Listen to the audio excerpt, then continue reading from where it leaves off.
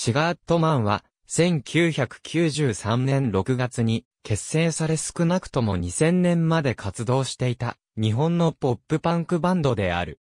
ギターボーカルの近子、ギターボーカルヒロアキ、ベース誠、ドラム注意により、愛知県名古屋市で1993年頃に結成され少なくとも2000年まで活動していた。1993年の6月、名古屋にて結成。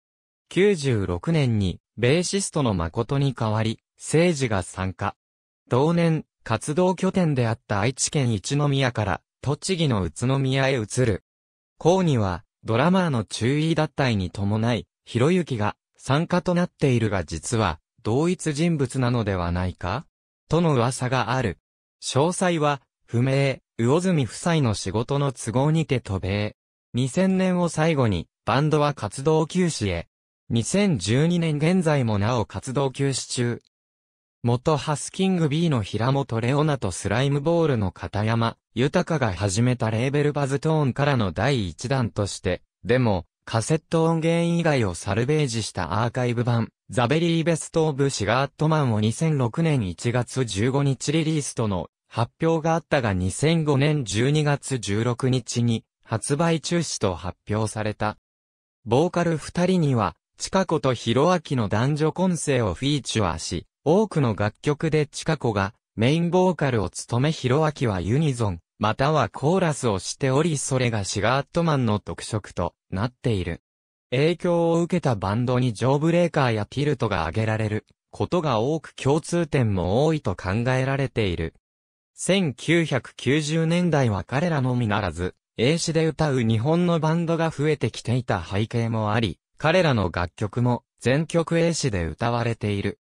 Discount、John Cougar Concentration Camp などアメリカのパンクバンドと共にスプリットシングルのリリースもあり、シガレットマンは日本国内よりもアメリカのポップパンクシーンの中で知られていき、その後日本国内でも評価が高まっていった。2005年に Very Best of シガレットマンというベストアルバムのリリースが発表された。このベスト版は、バンドのデモ、カセット版以外の楽曲19曲を収録することになっており、発売は2006年1月15日とされていたが、その後2005年12月に、レーベルから発売中止のアナウンスが発表された。以下に挙げた全楽曲は現在では非常に入手困難となっている。アルバムス、A Piece of Music is Worth 1000 Words Mini アルバムカセットザベリーベストオブシガートマン CD、7インチファイリング7シングル、スキッピーレコーズシガートマン、JCCC スプリット7シングルシガートマン、ディスカウントスプリット7シングル、スナッフィースマイルレコーズガール7シングル、スナッフィースマイルレコーズ、コンピレーションズ、パンクロックスーパーヒーローズ CD、スキッピーレコーズ、A ショートストーリー CD、スパイスオブライフレコーズアルティメットスロービーツ。